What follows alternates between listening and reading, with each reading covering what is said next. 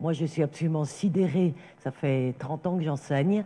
Euh, ce que j'enseigne aujourd'hui n'a plus rien à voir avec ce que j'enseignais il y a 30 ans.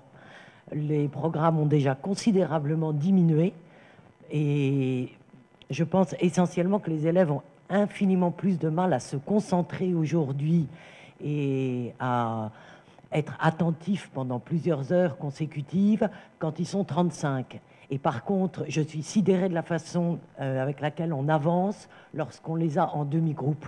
Donc en clair, quand on a 15 ou 20 élèves, on avance deux fois plus vite et le programme, il est fait largement. Donc pour moi, je pense qu'il faut arrêter de dire en permanence qu'il faut réduire le programme. Moi, ce que je faisais euh, en terminale euh, il y a 20 ans, c'est ce qu'on fait en BTS aujourd'hui.